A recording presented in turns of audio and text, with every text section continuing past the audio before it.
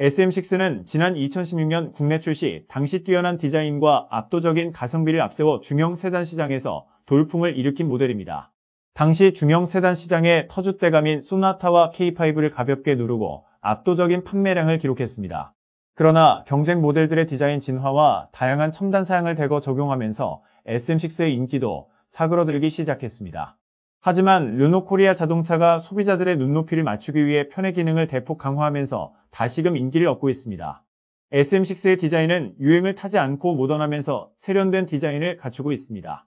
배기량 1332cc의 가솔린 직렬 4기통 싱글 터보 엔진을 탑재했고 최고 출력은 156마력 최대 토크는 26.5kgm의 파워를 발휘합니다.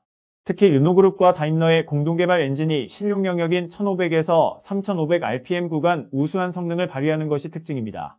공인 연비는 리터당 13.6으로 준수합니다.